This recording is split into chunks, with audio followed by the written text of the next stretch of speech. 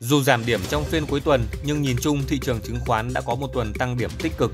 Chỉ số VN Index đóng cửa phiên cuối tuần tại 1.206,33 điểm, tăng 11,57 điểm. HNX Index đóng cửa tại 288,61 điểm, giảm nhẹ 0,22 điểm.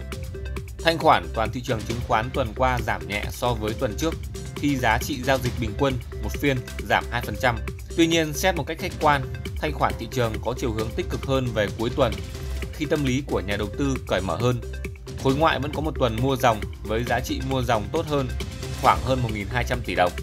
Như vậy tuần này đã là tuần tăng thứ ba liên tiếp của chỉ số VN Index và trong 5 tuần vừa qua, chỉ số này đã tăng tới 4 tuần, khép lại tháng 7 với mức tăng nhẹ là 0,73% sau 3 tháng giảm liên tiếp.